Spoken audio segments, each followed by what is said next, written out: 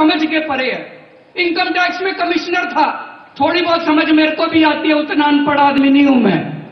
थोड़ा बहुत समझ मेरे को भी आ मेरे को यह समझ में नहीं आ रहा कि ये 500 500 हज़ार हज़ार के नोट खत्म करके दो दो हज़ार के नोट लाने से काला धन और भ्रष्टाचार कैसे खत्म होएगा।